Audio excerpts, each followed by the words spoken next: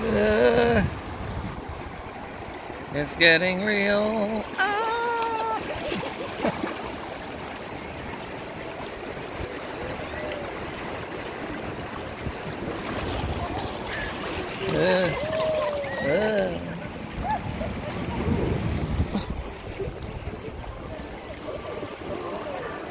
We're gonna hit the side.